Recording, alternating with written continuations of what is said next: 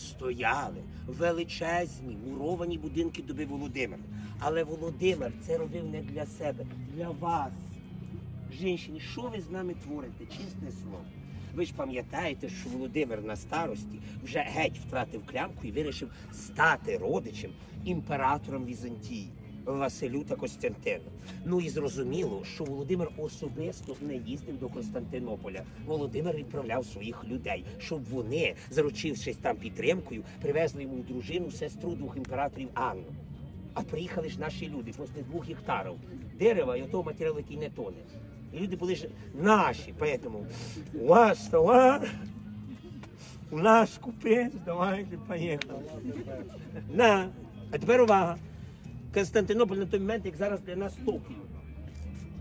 Ну, Токіо вже в 23 столітті ми ледь-ледь вилізли з 20-го. І це було б нормально, але увага.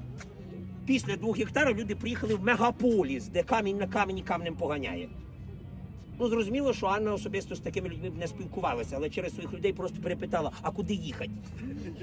І розповіли про два гектара. І Анна зразу сказала, що нікуди не поїде. І тоді Володимир психанув, отут все зніс під нуль. І розширив Києві на додатково 10 гектарів.